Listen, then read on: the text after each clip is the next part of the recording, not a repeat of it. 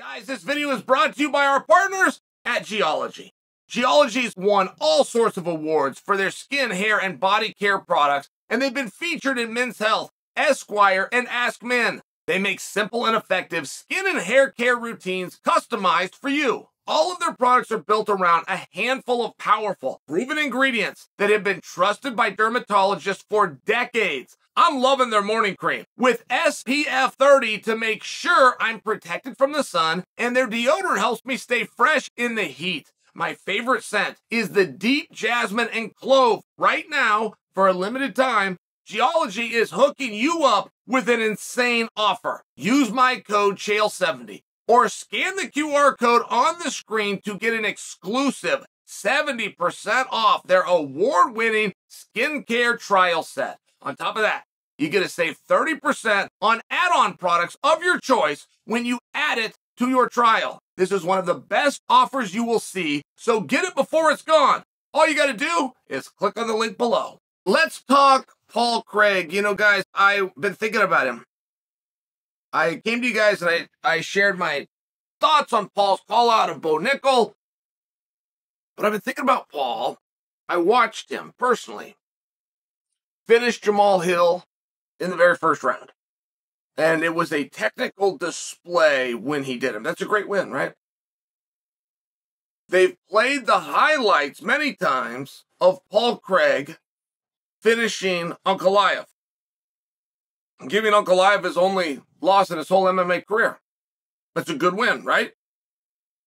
So, Paul looked fantastic over the weekend. And I don't just mean the performance, I mean the body. He looked healthy, he looked fit, he looked in shape. He's gone down to 185 pounds. Now, some of you experts are going to say, Chael, welcome to old news. No, I, I knew this too. For, for anybody that's just kind of tuning in, he's dropped a weight class. So that's one of the reasons that would explain why he looked so good, right? I mean, there was just, there was nothing on that body but muscle. And he laid out why. He did an interview yesterday. I believe it was with Ariel, but either way, talked about I'm 35 years old. Talked about this is the path to the championship. Now that is interesting. Because is he right? Right? When you have a guy like Paul Craig who beat the most recent champion by finish in the first round, who beat yesterday's number one contender by submission. But then he'll run into some losses here and there, right? Where it's, it's there's some, sometimes it's a matchup issue. And Paul didn't go as far as to say one of the things that I think is a deficit is my size and or strength. He didn't say that. But the fact that he changed the size, thus changing the strength, makes me think perhaps that was one of the motivators to 185 pounds. And perhaps it is time that we start to look at Paul differently. Because I don't think we look at him as a title contender. I don't think we look at him as a potential title contender. I don't think we look at him on who realistically within the next calendar year could we see challenging Izzy for the belt and ever mention Paul Craig, and perhaps we should. So he comes out, guys, and in this interview, he was sharing his weight cut. And he said that he got in the ring for Saturday's fight. He got in the ring heavier than he used to get in the ring for 205 pound contest. Said that he weighed 213 pounds, weighed in at 185, which, you know, they 186. Got in the ring at 213 pounds. I've never heard of that. I've never heard of that much weight, and that is an advantage. And he did maul his opponent.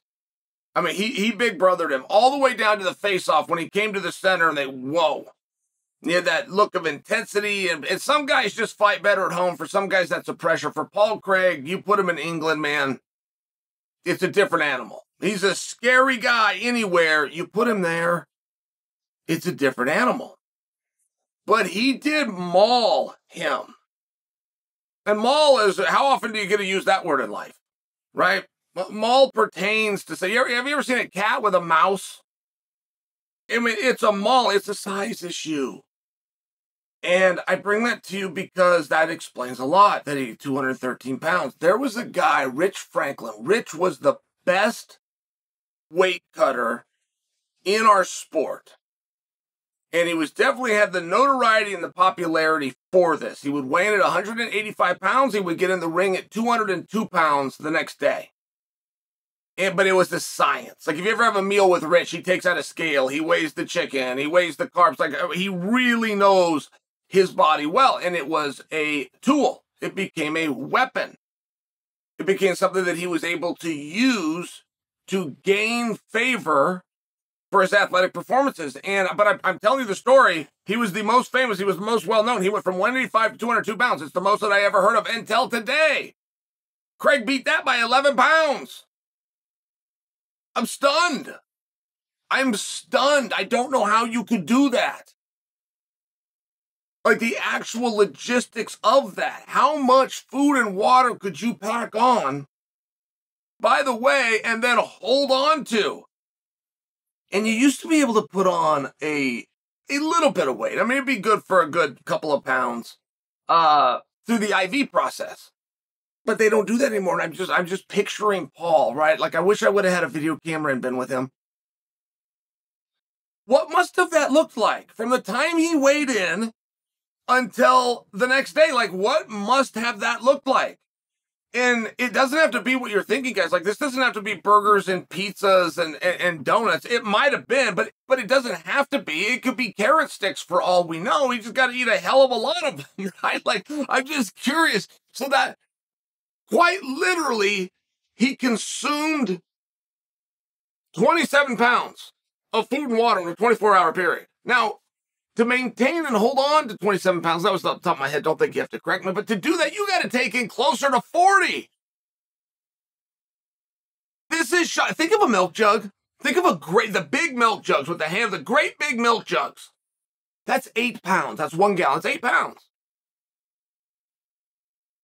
Think about how heavy that is. There are people that don't have weights and, and they take milk and they fill them with water and they use that to get a workout in. Okay. He put four of those down. He put an equal to four of those down in a 24 hour period. I mean, it's just a really interesting thing. Like, how did we get here? And then, by the way, when you do consider that he's 35 years old, how long can you do that? How many times can you do that? And I don't have the answer, by the way, guys. I'm asking questions, not answering questions, but Paul matters and Paul deserves something. And these are big sacrifices that he's making. To pull all the way down to 185 pounds, because he's got a goal and a vision and he thinks he's more likely to get it there than he was at 205 pounds. I mean, I'm just saying, if we're the audience and we're observing that, you can go both ways. You could first tease a guy. You could first tell a guy that he's wasting his time, that this is never going to happen. Like, you could bring your evil side out for sure. You want to be a jerk? Go ahead. But if he goes in there and he's getting finishes fast and easy in mauling fashion in feature bouts, at some point we need to pay a respect to that. Paul Craig versus Bo Nickal. It was an interesting call out. I don't think they're going to make the match. I don't think they are. But why not? I, am not against it. And, and, we don't have to go the Bo Nickal route, by the way. All I'm asking here today is that we keep our eye on Paul, that we give him a fair shake. He shared with us some of the struggles. He shared with us a change in his physiology because he sees it for the greater good. These are things that we look for in athletes. These are things that we look for in guys that we get behind. I submit for you starting now, we need to look at and think about Paul Craig differently.